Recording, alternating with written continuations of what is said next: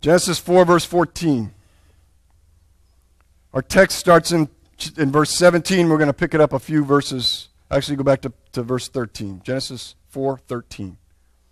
Cain said to the Lord, My punishment is greater than I can bear.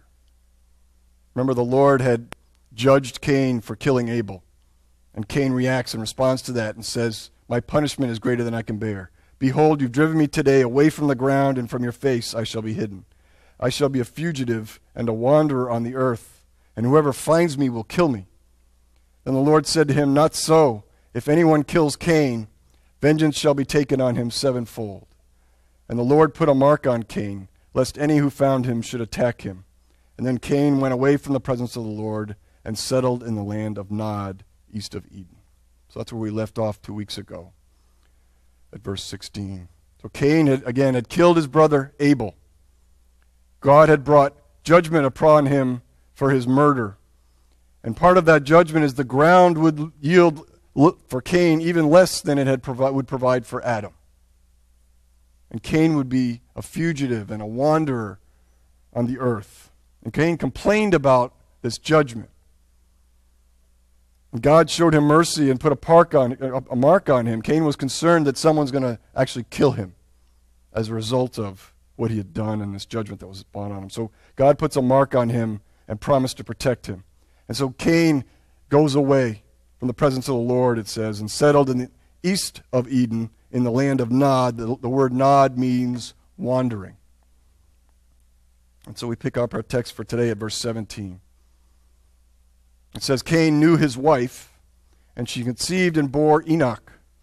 And when he built a city, he called the name of the city after the name of his son, Enoch. So if you read ahead in Genesis 5 4, it says, Adam had several sons and daughters.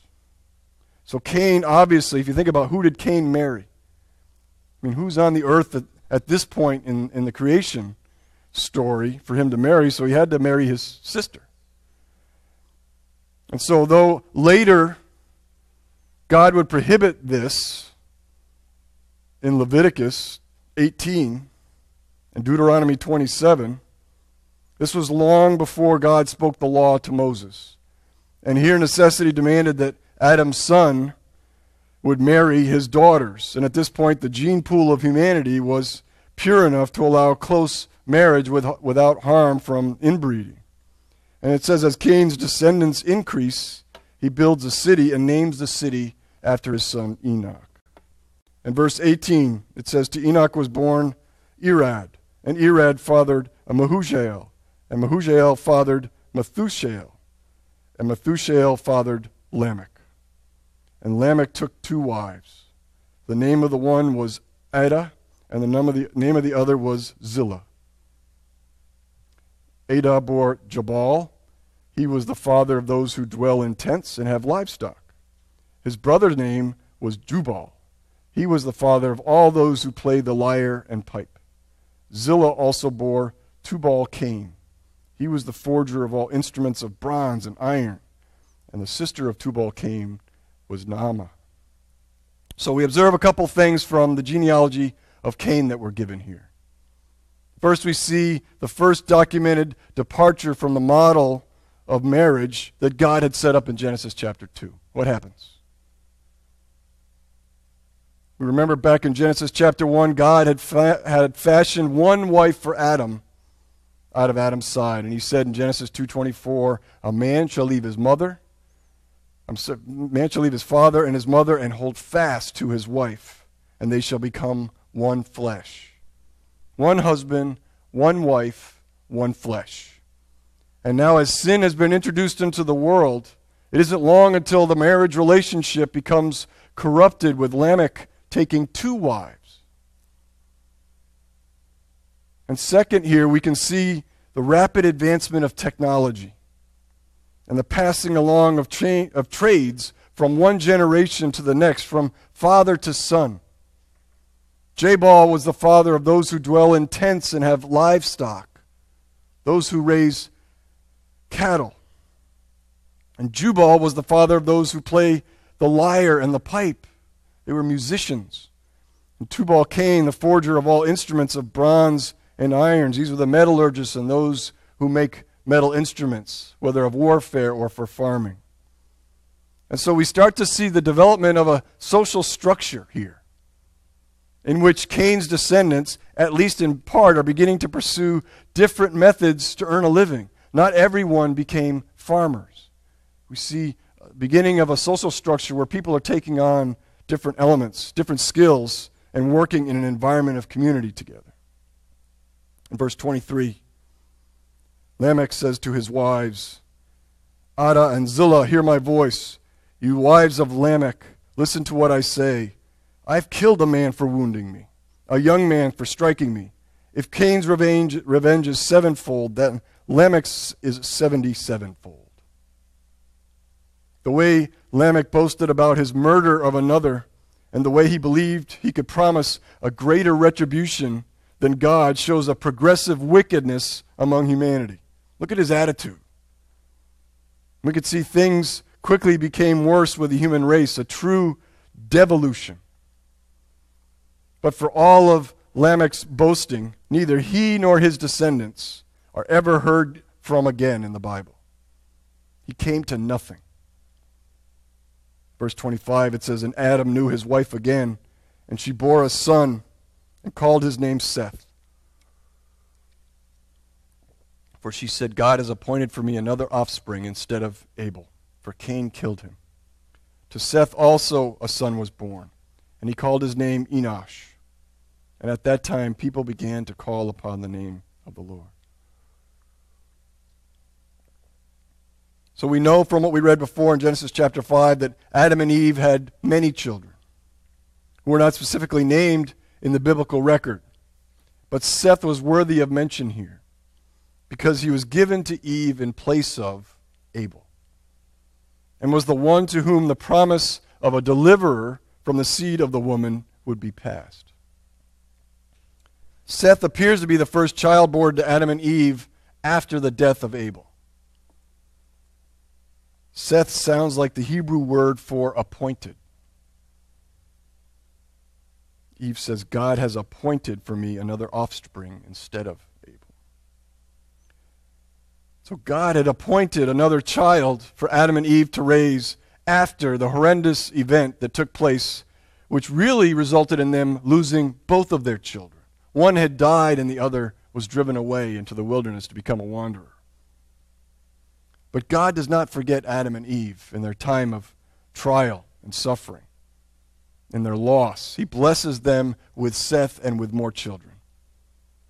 And it is obvious here that Eve does indeed recognize that Seth was a gift of God. We pick it up in chapter 5, verse 1. It says, This is the book of the generations of Adam. When God created man, he made him in the likeness of God. Male and female, he created them, and he blessed them and named them man when they were created.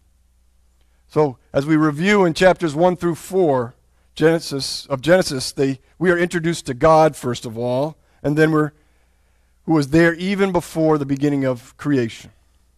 We witness the creation of the heavens and the earth and all that they contained.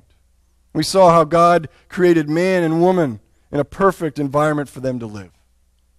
And in that environment, God created boundaries for them boundaries for their own protection. And one of those boundaries was willfully crossed, and sin and separation entered the world. Many theologians consider the books of Moses and the Bible itself, for that matter, to be a narrative, not just a historical record. It's a story, it's a factual story. And they are, in fact, the first factual narrative ever written, from which every other narrative or communication of a story is based today. And a narrative begins when something knocks life off balance. Life is now not the way it ought to be.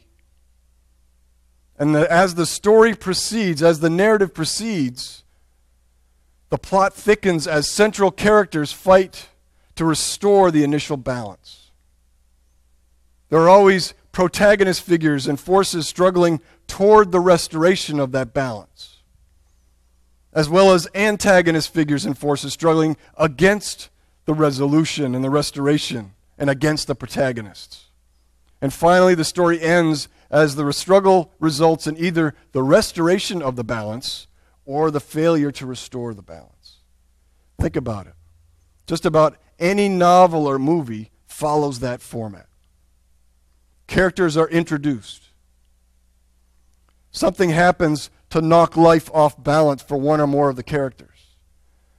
And then there are characters on both sides of this problem that struggle with each other while an effort is made to restore the balance. And the story either has a happy ending when the balance is restored or a not so happy ending with lessons learned and life going on. So it says, as it says here in the beginning of chapter 5, this is a book, a factual narrative. And God wrote this first narrative, and we've seen how life now has gotten off balance. And now the remainder of the book, the remainder of the entire book, will involve protagonist figures and forces and antagonist figures and forces struggling against each other to restore the balance. And in, in this narrative, just as it, seem, as it seems as if there's no hope of mankind ever being able to bring restoration, restoration there is what Tolkien calls the turn. The turn is present in all good narratives. It is a reversal, an upending of normal expectations, and a sudden plot resolution that is counterintuitive and satisfying. In this story, this is where the person of work and work of Christ are brought to bear on the problem. And he is proclaimed as the unique solution to the issue, unlike anything the world has to give. And now, as a part of that narrative in chapter 5, Moses is going to take us from Adam all the way to Noah. This is kind of like that graphic that comes up during the movie, when you're watching a movie and it says, one year later, except this graphic comes up and says, about 900 years later. So we need to keep in mind, we're going to read through a lot of genealogy here. And we need to keep in mind that we can arrange the following genealogies in a sequential manner and chart out a timeline. But we cannot establish an absolutely reliable timeline with this method because biblical genealogies are not always complete. Sometimes generations are skipped. But if we were to take these genealogies of not having skipped any generations, Adam's son Seth, who we just talked about, who was the replacement for Abel, Adam's son Seth was around for about 34 years after the birth of Noah. It's interesting because they lived so long during that time. So Adam's son Seth would have lived 34 years into the life of Noah. And it's amazing to me as we read through this that because he would have potentially been alive during that time, it's possible that Seth could have babysat Noah when he was a teenager. And Noah could have taught Seth how to adjust the settings on his cell phone, like our teenagers do for us. So let's go through these generations from Adam to Noah. In verse 3, it says, When Adam had lived 130 years, he fathered a son in his own likeness, after his image, and named him Seth. The days of Adam after he fathered Seth were 800 years, and he had other sons and daughters. Thus, all the days that Adam lived were 930 years, and he died. So Adam fathered Seth, his third son, when he was 130 years old. And it says that Seth was made in Adam's likeness. And we know that from the Bible it says Adam was made in the image of God. And the same could be said of all of us. For we have all descended from Adam, and therefore we are all in his likeness as well. And it also says that Adam and Eve had other sons and daughters. And well, as we said earlier, they would have had to, for any more generations to come, right? They would have had to have sons and daughters, and they would have had to intermarry and have families of their own. As we said before, it does sound a little creepy, but at this early point, brothers and sisters were getting married and having families. God later, as we mentioned, would prohibit this when he gave the law to Moses, but at this point in time it was necessary. Verse 6 it says, When Seth had lived 105 years, he fathered Enosh. Seth lived after he fathered Enosh 807 years and had other sons and daughters. Thus, all the days of Seth were 912 years, and he died. When Enosh had lived 90 years, he fathered Kenan. Enosh lived after he fathered Kenan 815 years and had other sons and daughters. Thus, all the days of Enosh were 905 years, and he died. And when Kenan had lived 70 years, he fathered Mahalalel. Mahalalel. Mahalalel. Mahalalel. Kenan lived after he'd fathered Mahalalel 840 years and had other sons and daughters. Thus, all the days of Kenan were 910 years, and he died. And when Mahalalel had lived 65 years, he fathered Jared. Mahalalel lived after he fathered Jared 830 years, and he had other sons and daughters. Thus, all the days of Mahalalel were 895 years, and he died. And when Jared had lived 162 years, he fathered Enoch. Jared lived after he fathered Enoch 800 years and had other sons and daughters. Thus, all the days of Jared were 962 years, and he died. And when Enoch had lived 65 years, he fathered Methuselah. Enoch walked with God. After he fathered Methuselah 300 years and had other sons and daughters, thus all the data, days of Enoch were 365 years. In verse 24, Enoch walked with God, and he was not, for God took him. So, here with the mention of Enoch and Methuselah, we have something interesting that comes up. Verse 21, first of all, says that Enoch lived 65 years and then he fathers Methuselah. And then verse 22 seems to indicate that something happened to Enoch around the time of Methuselah's birth. It says that Enoch walked with God after that. Verse 22 says Enoch walked with God after he fathered Methuselah. 300 years. and had other sons and daughters. So there's something special about Enoch here worth mentioning in this genealogy, and what a cool thing to be remembered for. It says, Enoch walked with God. What a great thing to have on your tombstone or as a remembrance of you is that Enoch, like Enoch, Enoch walked with God. And an even cooler thing is that Enoch is one of the few characters in the Bible that did not taste death. In verse 25, it says that Enoch walked with God and he was not, for God took him. So one minute he was, and the next minute he was not. He was not there. And the narrative here doesn't tell us why, but Enoch got an early preview of the rapture. He is also listed in the Hall of Faith in Hebrews 11, verse 5, where it says, By faith Enoch was taken up so that he should not see death, but he was not found because God had taken him. Now, before he was taken, he was commended as having pleased God. And the, Jude, the book of Jude also mentions Enoch and tells us that Enoch was a prophet of God. Verse 25 tells us when Methuselah had lived 187 years, he fathered Lamech. Methuselah lived after he fathered Lamech 782 years and had other sons and daughters. Thus, all the days of Methuselah were 969 years, and he died. So, Methuselah has the honor of having the longest lifespan on record. That is a long time. Had Methuselah lived in more recent times, he would have been uh, able to witness the Battle of Hastings, in which William the Conqueror conquered Britain in 1066 and would still be alive today to tell us all about it. It's crazy. He would have witnessed the invention of the sundial and the Verse 28 When Lamech had lived 182 years, he fathered a son and called his name Noah, saying, Out of the ground that the Lord has cursed, this one shall bring us relief. From our work, relief from our work and from the painful toil of our hands. Lamech lived after he fathered Noah 595 years and had other sons and daughters. Thus, all the days of Lamech were 777 years, and he died.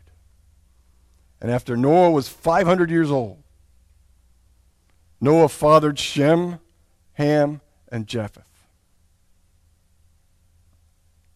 So Lamech and his wife give birth to little Noah. And there was something special about Noah as well. Lamech had hoped that his son Noah, as we talked about during communion, would bring relief or rest from their work or painful toil. Noah's name in Hebrew sounds like the word rest. Lamech had held out hope that his son would bring them rest and relief from the painful toil of providing for themselves from the earth that had been, excuse me, cursed.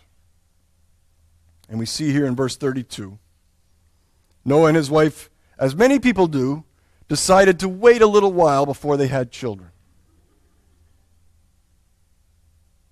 Actually, God had them wait a little while.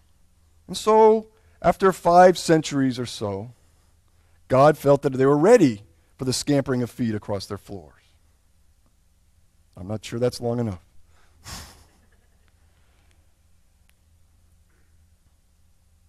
Chapter 6. See, we're going through a lot for me, aren't we? This is a lot of text. Chapter 6, verse 1. When a man began to multiply on the face of the land and daughters were born to them, the sons of God saw that the daughters of man were attractive, and they took as their wives any they chose. And the Lord said, My spirit shall not abide in man forever, for he is flesh. His days shall be a 120 years. The Nephilim were on the earth in those days, and also afterward when the sons of God came into the daughters of man and they bore children to them. These were the mighty men who were of old, the men of renown. So this is kind of an interesting passage. It seems that during this time frame, as the population of mankind expanded on the earth, the sons of God, whoever they are, saw that the daughters of man were attractive. And so as we dig into this to try to understand who are these sons of God and who are these daughters of man, there's, there's a couple views primarily of who, who we're talking about here. Some commentators believe that this is actually described intimate relations between the descendants of Seth, who were the sons of God, with the sons of Cain, who had been kind of banished away from the presence of the Lord. They, as that population increased, they say it was inevitable that these two clans would eventually meet and intermarry. They say this is kind of the sons of evil with the sons of good. And that Satan used this to, to try to corrupt the descendants of, and, and success, successfully corrupt the descendants of Seth. But it doesn't seem to satisfactorily explain what is said about the, the progeny, the descendants, in verse 4, in which there is something extraordinary about the children that were produced from these marriages. They are referred to as Nephilim, the giants. And it indicates that they were mighty men, men of renown. And also, if we turn to Judah, the book of Judah, in verses 5 to 7, there seems to be a mention of this time period. It gives us a little more information as to who they might be. So in Jude, verse 5, it says, Now I want to remind you although you fully knew it, that Jesus, who saved. Uh, my printer messed up this morning. I was reading it. Me, let me get there.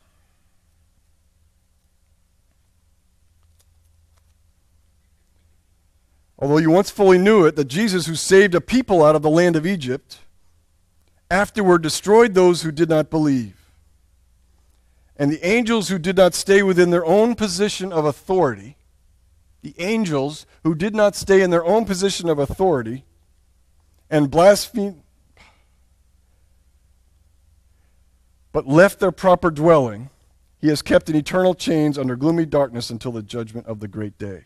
Just as Sodom and Gomorrah and the surrounding cities, which likewise indulged in sexual immorality and pursued unnatural desire, serve as an example by undergoing a punishment of eternal fire. So Jude indicates that there were angels who did not stay within their own position of authority, but left their proper dwelling.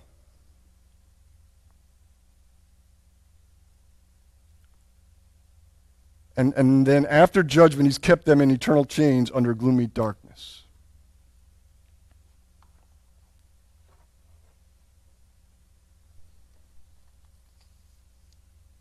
So it seems like this was obviously a dark time.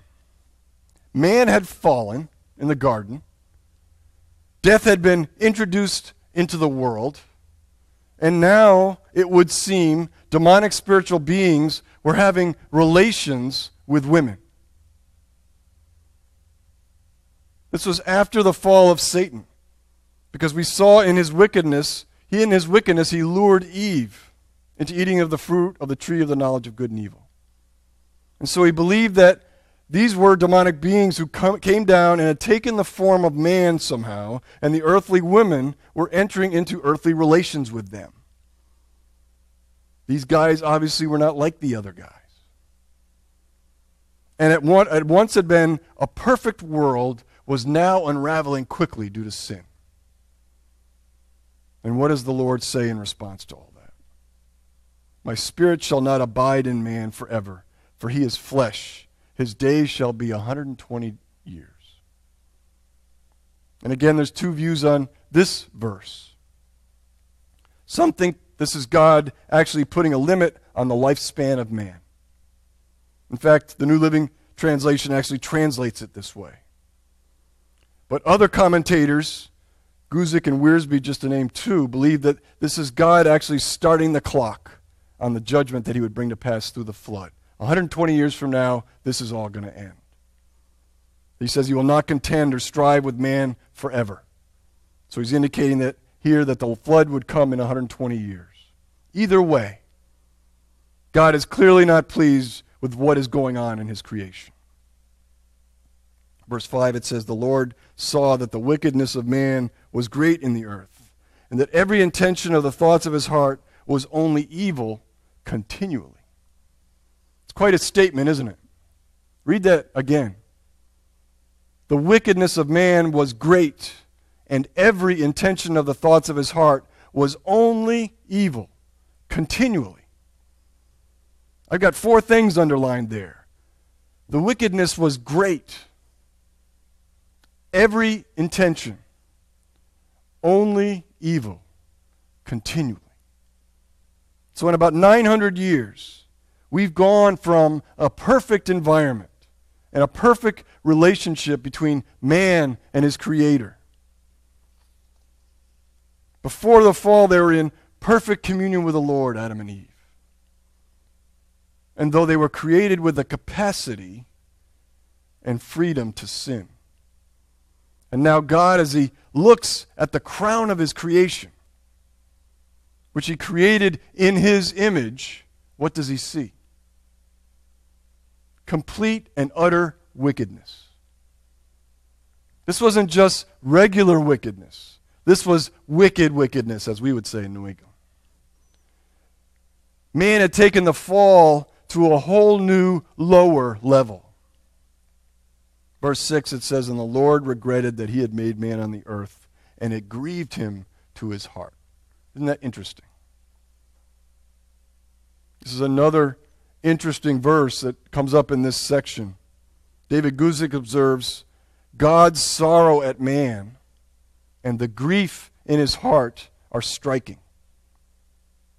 This does not mean that God that creation was out of control, nor does it mean that God hoped for something better but was unable to achieve it. It doesn't mean that. God knew all along this was what, how things would turn out. But our text tells us loud and clear that as God sees his plan for the ages unfold, it affects him. God is not unfeeling in the face of human sin and rebellion. It's a little like when we know something that our kids are about to do is going to turn out badly. But they insist on doing it. So we allow it to go forward hoping that there will be a lesson learned from it. But when it does eventually go bad, as we know it will, we, weren't, we aren't detached from the pain and regret. We aren't surprised by it, but it's still painful to watch because we love them.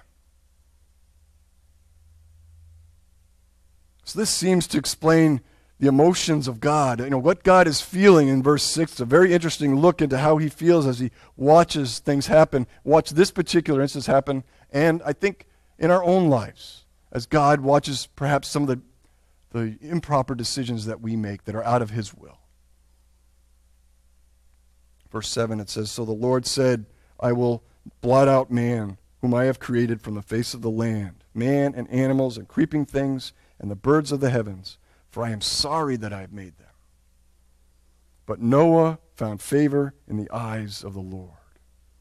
So the Lord says, Enough. Enough. He's going to blot out everything and start again. In his infinite wisdom, he has allowed mankind to chase their flesh to the point in which it just, just brings their destruction and the de- destruction of God's, the remainder of God's creation the animals and the birds and the creeping things. And Jesus refers back to this time in Matthew chapter 24, if you want to turn there.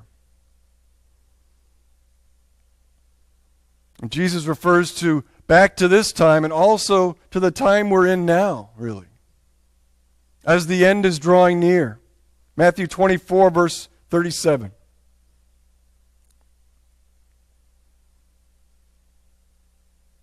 Jesus says to his disciples, For as were the days of Noah, so will be coming, so will be the coming of the Son of Man.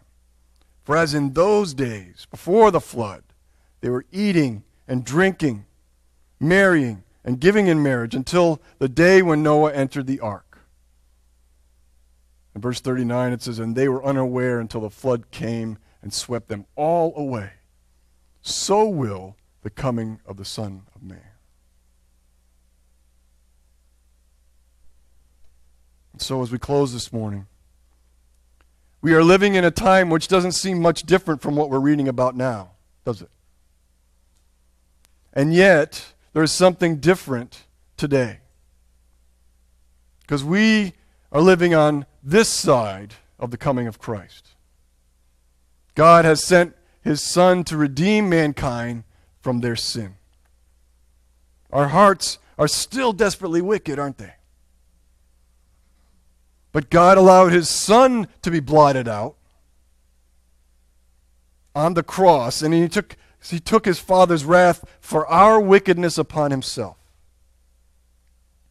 And then he rose again to the right hand of the Father and He's there interceding for us. And we, as believers who have allowed that blood to wash away our sins, we have de- decided to allow Him to give us a new life through His grace. We have been given the gift of a brand new beginning. Verse 8 says back in Genesis, 6, it says, But Noah found favor, or grace is another way to translate that word. Noah found grace in the eyes of the Lord. He found it.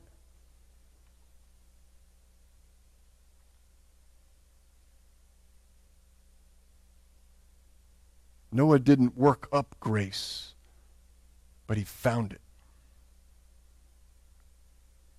He didn't earn favor. He didn't earn grace. He found it, or better, it found him didn't it?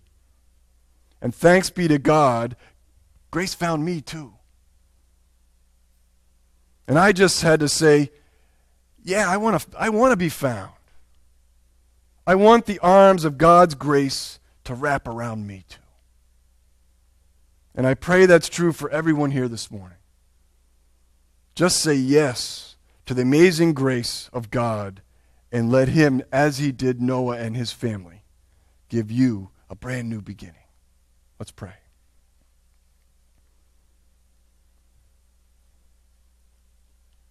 Lord, thank you so much for this portion of your word, this narrative, this story that shows us how you continued to bring about redemption, to bring about the restoration of the balance that you created in the Garden of Eden. And Lord, as we read about all these generations and how the, the earth descended into wickedness, it kind of reminds us in the world we live in today. But Lord, thank you so much that you gave us a Redeemer.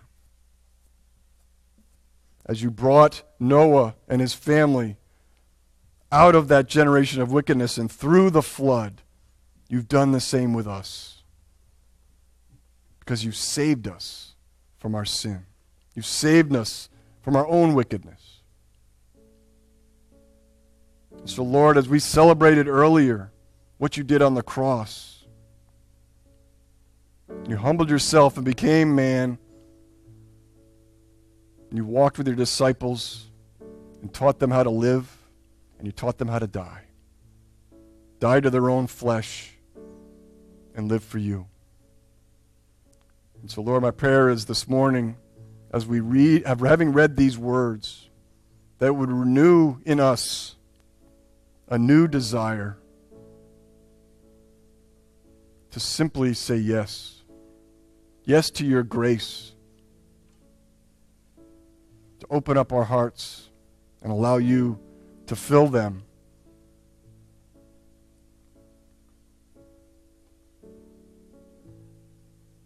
And Lord, I pray that you just continue to renew our sense of awe at how you have redeemed mankind and how you've redeemed each and every one of us. Because we didn't found you, If we didn't find you, you found us. And we just needed to consent to be loved. We just needed to be say, Yes, I want that grace. And Lord, as you poured that grace into us, my prayer is that you would, as you fill us up with that living water, we would just fill up to overflowing and be able to pour out into others and share that with our neighbors. Lord, bless each and every one who is here this morning as they go out through those doors. I pray their hearts would be changed and filled with joy, and we live out our lives in worship in everything that we do. In Jesus' name, amen.